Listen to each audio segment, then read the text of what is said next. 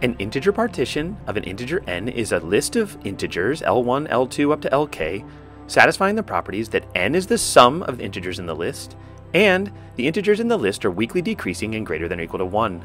The elements in the list are called parts.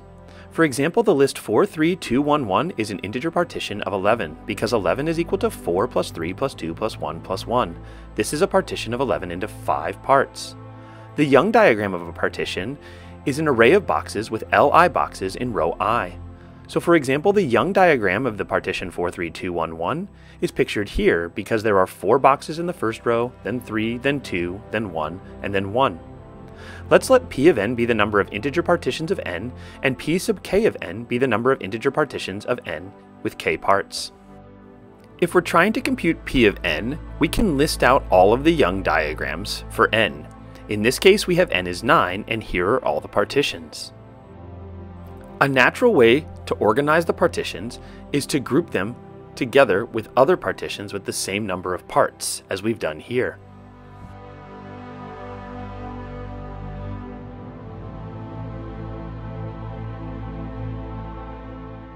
The smallest number of parts a partition can have is 1, and the largest number of parts it can have is n, where each part has size 1.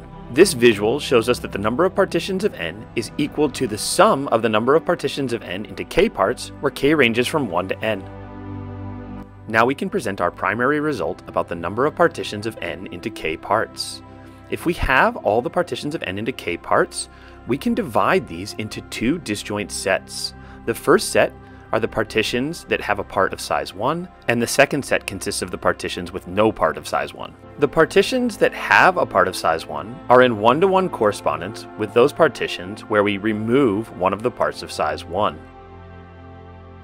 But these partitions are just the partitions of n-1 into k-1 parts, so we can count them using p sub k-1 of n-1. For each of the partitions that have no part of size 1, we can remove one from each part, resulting in a partition of n minus k into k parts. These can be counted by p sub k of n minus k. Both of these processes are reversible, and because the two sets have no elements in common, we see that p sub k of n is equal to p sub k minus 1 of n minus 1 plus p sub k of n minus k. This is a recursive formula for p sub k of n, the number of partitions of n into k parts. We now see that we do not need to enumerate all of the partitions to know how many there are. Instead, we can use the two formulas that we just encountered to find the number of partitions of size n.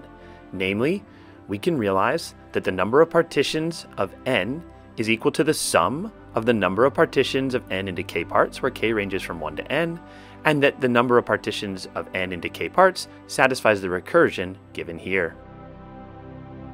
Of course, this is only one such technique to count the number of partitions of n. Can you think of a different way to count them?